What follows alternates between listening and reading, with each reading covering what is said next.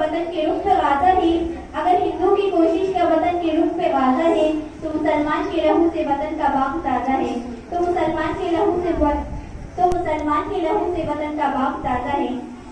अकवाद मिल्लत इस्लामिया उर्दू भी हमारी है, हिंदी भी हमारी। उर्दू भी हमारी है, हिंदी भी हमारी। ये भी हमें प्यारी है, वो भी हमें प्यारी। उर्दू के साथ तो हमारा प्यार बनाम आशिक की तरह मशहूर है। लेकिन हिंदी जबान को भी हमने कम प्यार नहीं दिया। अगर हम उर्दू को अपनी मादरी जबान समझते हैं तो हम हिंदी को भी अपनी राष्ट्रीय भाषा मानते हैं। तो अब मैं हिंदी तकरीर पेश करने के लिए मधु करती हूँ ज़िक्र वहीद को, जो कि मुतालिबा है आलिया सानिया की वो स्टेज पर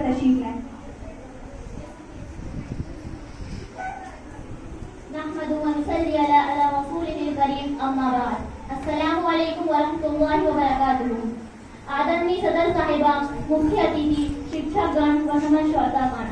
आज के समारोह में मेरी तकरीर का शीर्षक है स्वतंत्रता दिवस। स्वतंत्रता दिवस, ये सिर्फ़ एक तारीख नहीं, ये वो दिन है जब हमें जब हिंदुस्तानियों को अंग्रेज़ों के अत्याचार और गुलामी से 15 अगस्त उन्नीस को स्वतंत्रता प्राप्त हुई।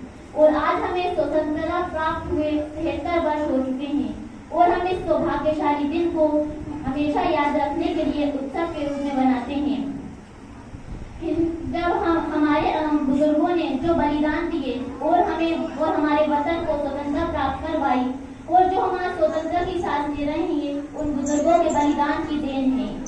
और जब अंग्रेज़ों ने हिंदुस्तान को वश में करना चाहा तो उस वक्त हिंदुस्तान से अंग्रेज़ों से लड़ने के लिए कोई ताकत नहीं थी। तो उस वक्त टीपू सुल्तान खड़े हुए और वो अंग्रेज़ों से टकराते रहे और हिंदुस्तान के लिए आखिर सांस तक लड़ते रहे।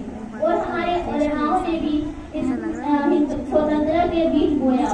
और उन्हें भी अपने बलिदानों को, अपने बलिदान देना शुरू किए और अपने आखिर सांस तक बलिदान देते रहे। लेकिन आज़ाद स्वतंत्रता को प्राप्त करना इतना आसान नहीं था। इसके लिए हमारे देश के बड़े बड़े बड़े महान, बहादुर और प्रतिभाशाली लोगों ने अपनी पूरी ज़िंदगी इसे पाने में लगा दी।